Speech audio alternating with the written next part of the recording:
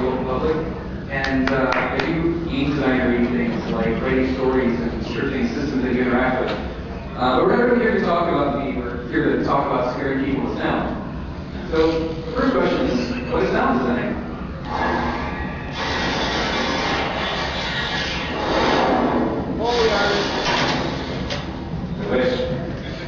Um, sound design is how uh, sound effects get put all your favorite video games. Um, well, I'm not really going to get into the technical tools of um, sound design, and we're going to talk about some uh, ideas and some conceptual processes uh, that you could use to create or come up with good sound ideas. And the very first step of that is to always have a goal in mind.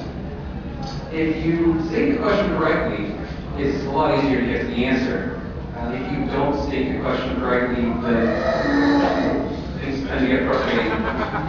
Um, if there's one thing you take away from this talk, is that if you state the question correctly, getting the answer is always easy. So the goal I had in mind for creating sounds is to cause fear and anxiety.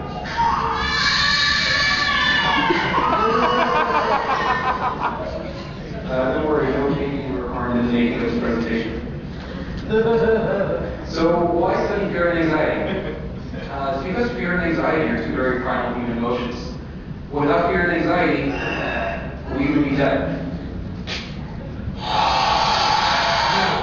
If this guy wasn't afraid of a raptor, he'd probably get eaten. If this guy wasn't afraid of a car, he'd probably get run over. And uh, if the stove stopped, the tea was superior, then navigating the kitchen could get a little interesting. My personal favorite is Fear of the Unknown, though, and some people call it Fear of the Dark. Um, so now that we have goals in mind, though, now we can actually go into defining what fear and anxiety are. So first off, what is fear? It's uh, well, it's caused it's shock and avoidance, and it's caused by a very specific stimulus. Uh, that's the important part. Uh, stimuli like weapons, stimuli like nature, stimuli like predators. Uh, predators. so, what is fear? It's shock and avoidance caused by specific stimuli. Oh, what is anxiety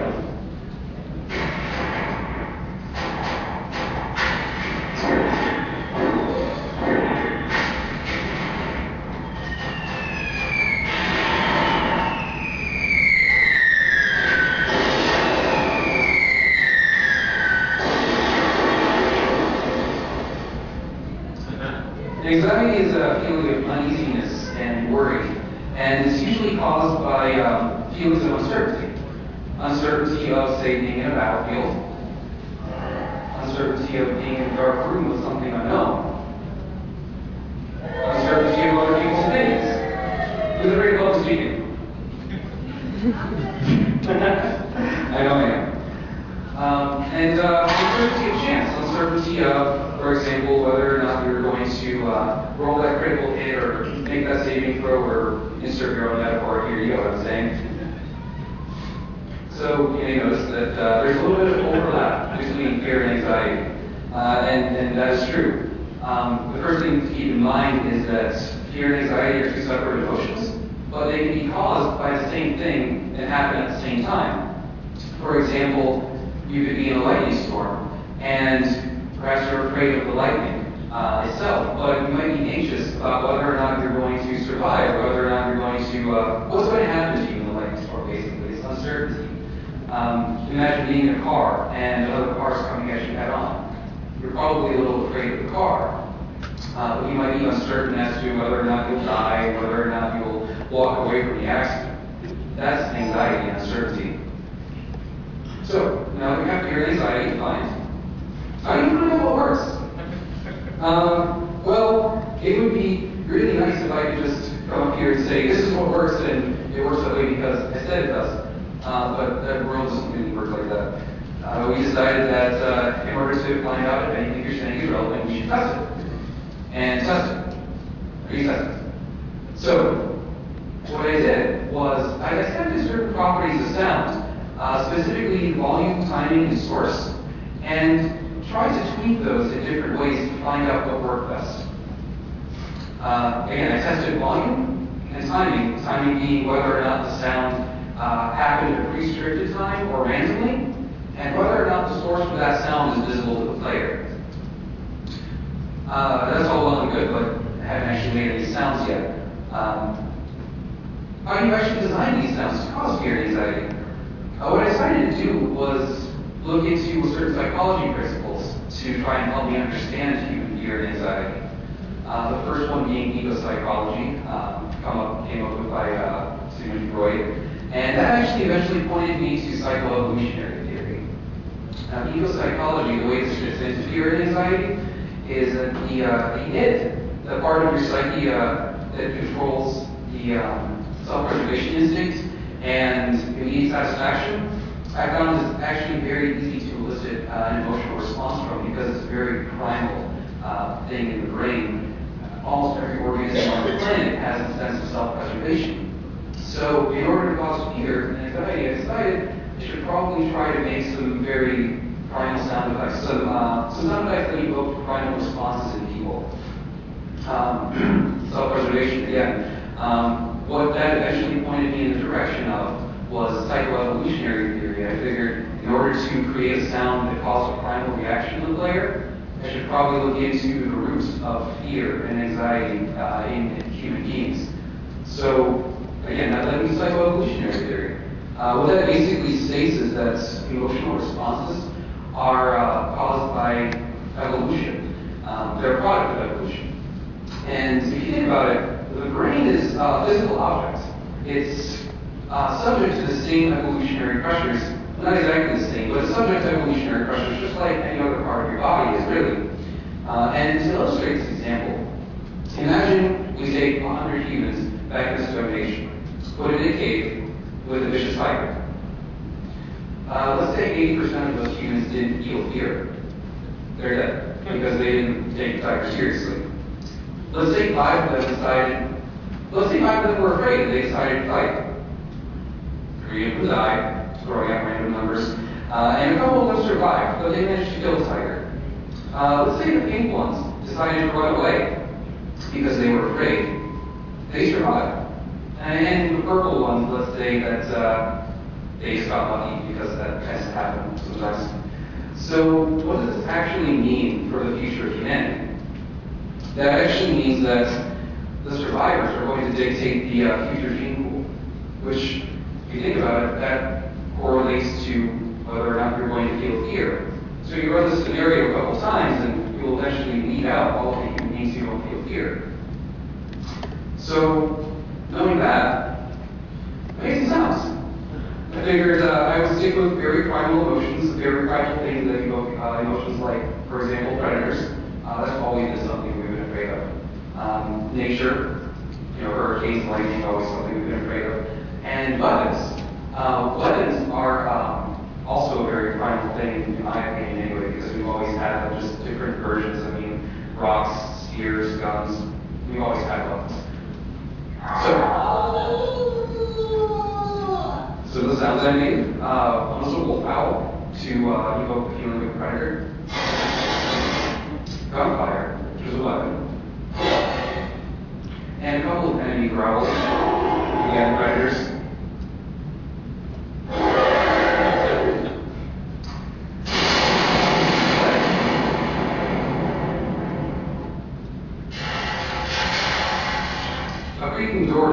feelings of uncertainty. To evoke of uncertainty as well, and also maybe feelings of perhaps there's a weapon involved. We're uncertain.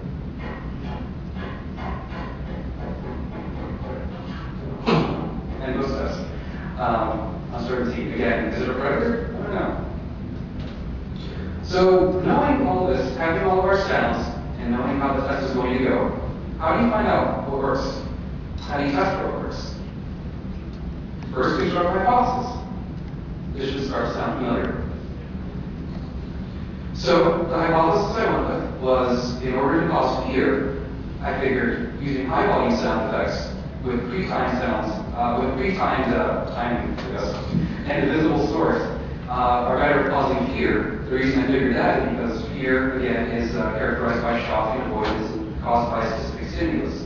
I figured uh, having something high volume would shock the player, and pre-timing a visible source would point to a specific stimulus.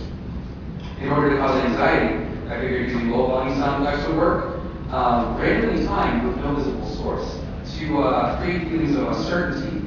And I figured low volume would work because it's anxiety. I thought was more of a subconscious thing. I was just uh, judgment call on my part. But after you construct the hypothesis, then test it. So I had uh, 27 testers play through a map I made. Uh, identical maps, all of them, but with different assortments of sounds with those properties tweaked. Uh, this is a top-down view of the map if anyone's interested. It's uh, supposed to be a haunted house.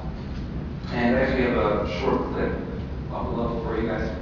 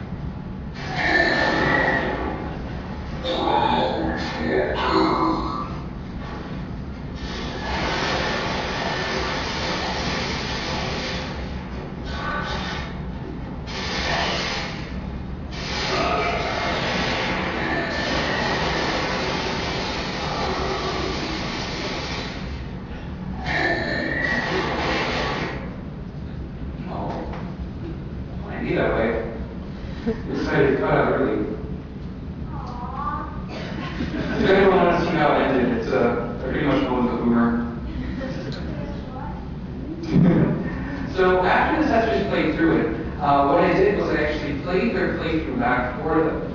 As they were playing, I uh, captured a video of their playthrough, and uh, once they were done, I played it back and um, asked them certain questions. I asked them to uh, rate their feelings of anxiety and fear on a scale of 1 to 7 at each of those sound points. And further, I asked them um, basically what do you think caused the fear and anxiety. So I, I went into a little bit of uh, uh, a detailed interview with the uh, with all the testers, and I also recorded any involuntary body movements they showed. And after tabulating all of that data, um, so three-state hypothesis. I figured high volume three time sounds uh, with a visible source best at causing fear, and cause anxiety, I figured low volume randomly timed sounds with no visible source best at causing anxiety. What I actually found after tabulating it all, uh, something kind of interesting. The low volume sound effects weren't even heard by people.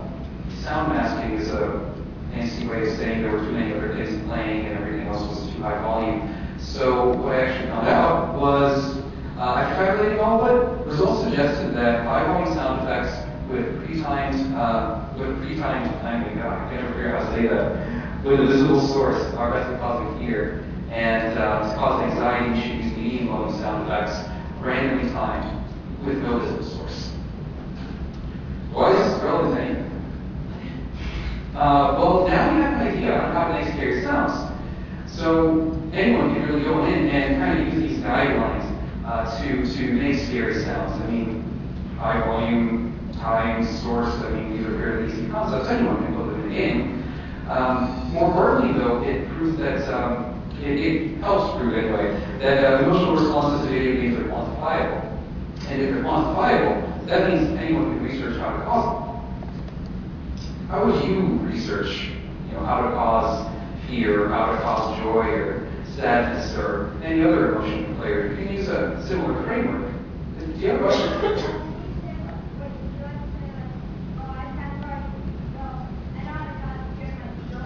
Uh-huh. I think some real good stories that are really kind of creepy. Like this one of the giant pesticide bee right heading for the earth. Movie. And since we meet outside of Texas, nothing would survive, not even bacteria.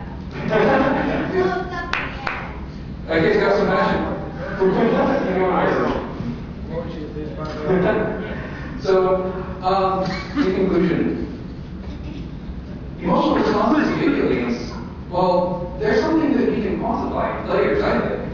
And uh, I think as an industry, we're getting, we're becoming more aware of that. Uh, a game studio should care about their players. They should care about the emotional responses that their players have to their games. Uh, this is important because games are an escape from reality. Um, we, as an industry, should be dedicated to, well, create, the best possible emotional reaction in our players because that's ultimately going to determine whether or not they love our games. So, again, this is you know kind of usable in your day to day. I think. Imagine how would you try to elicit joy or satisfaction or something. Think about it. I get the question a lot. What's it like to be a game designer? And uh, I thought about it. I thought about it for a couple of months. And uh, I think honestly, it's like trying to look at everything from everyone's perspective at the same time. Trying, anyway. Thank you. Have a good night, everyone.